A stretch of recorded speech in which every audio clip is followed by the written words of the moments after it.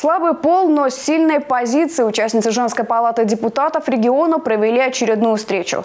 В повестке вопросы, ответы на которые помогают искать и власти. К диалогу в этот раз присоединился Александр Цибульский.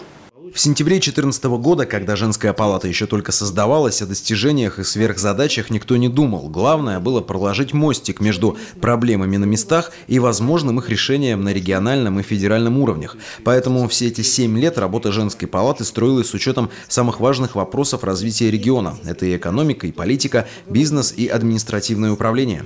Сегодня роль женщины, роль женщины во всех отраслях, и в политике, и, и в бизнесе, и в административной работе, и в промышленности серьезным образом растет. Это показывает даже статистика, если посмотреть, то с каждым годом, даже если брать чисто депутатский корпус, то все больше и больше женщин у нас становятся депутатами.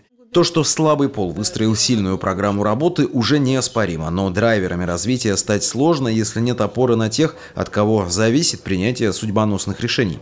Депутат Госдумы Елена Вторыгина подчеркнула важность такого сотрудничества всегда, и сегодня видите, присутствуют министры, какой у нас вопрос стоит по направлению, всегда они с нами, независимо в Архангельске мы заседаем, или там, не знаю, в Приморском районе, или в Холмогорском, они всегда выезжают с нами, встречаются, отвечают на все вопросы наших женщин. Это очень правильный посыл. Повышение профессиональной компетенции депутатов городского и районного уровня и выстраивание эффективного взаимодействия с властью, участие в проектной работе. Вот лишь некоторые задачи женской палаты.